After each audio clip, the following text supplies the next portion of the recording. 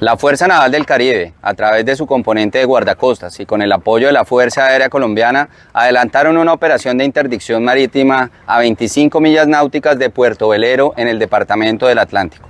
Durante esta operación se logra la interdicción de una embarcación que estaba transportando 704 kilogramos de clorhidrato de cocaína y su tripulación estaba compuesta por cuatro personas de nacionalidad colombiana. Una vez adelantada esta operación, se conduce el personal y el material hasta el puerto de Barranquilla con el propósito de adelantar todas las diligencias administrativas y poner a disposición de las autoridades competentes. Con esta operación se sigue con los esfuerzos con el propósito de debilitar las finanzas de las organizaciones dedicadas al narcotráfico.